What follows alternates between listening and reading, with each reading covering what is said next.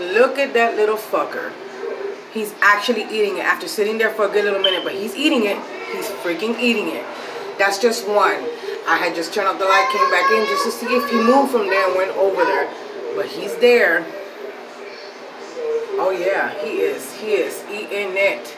So, I'm gonna wait. Like I said, this is just a test drive.